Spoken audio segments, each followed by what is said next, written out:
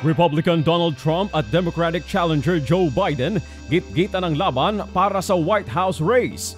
Pinal na resulta ng presidential elections sa US, posible namang bukas pa mailalabas kapag natapos na ang bilangan sa mga malalaking estado. Pinsala ng bagyong Rolly sa linya ng kuryente, aabot na sa higit 2 bilyong piso. Supply ng kuryente sa mga lugar na lubhang naapektuhan ng bagyo hindi pa matiyak kung kailan maibabalik ayon sa Department of Energy. We don't like people to be suffering and uh, or inconvenience inconvenience because walang kuryente. So, talagang nasa puso namin 'yan, nasa isipan namin 'yan na hindi namin hihintay ng Pasko uh, at kailangan magkaroon ng kuryente ang mga tao. As of yesterday, we were able to penetrate certain portions already.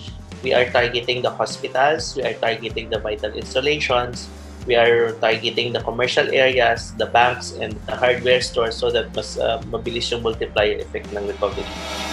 Cellphone signal sa lalawigan ng Catanduanes unti-unti nang naibabalik matapos ang pananalasa ng bagyo ayon sa National Disaster Risk Reduction and Management Council.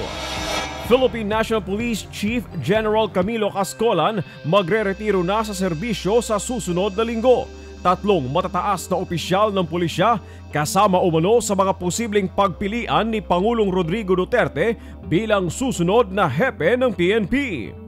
I haven't talked yet with the uh, good president, but uh, if he will be will be calling me, of course, uh, susunod lang naman po tayo sa kautusan. Trabaho lang po tayo. And uh, it follows that, uh, of course, uh, Siyempre, yung mga pinagagawa naman po natin para sa kabutihan and whoever will uh, uh, be able to uh, uh, go up the leadership and change and uh, change me, of course, he will, I know that he will be able to sustain and continue our programs. Kahit sino.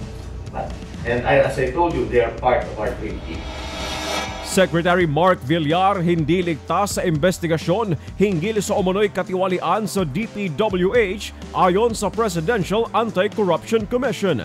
Implementasyon ng mga proyekto sa DPWH kabilang sa mga tututukan ng ahensya. Ang sa amin po kasi is evidence-based and transactional-based. Ang tiwala po ng Pangulo, of course, um, nandun yan sa mga taong uh, ano tawag dito, uh, in-appoint niya. However, things may change when you see evidence and we will see this many times. Terror threat level ng Britain itinaas sa pinakamahigpit na antas kasunod ng napaulat na pag-atake sa Austria at France.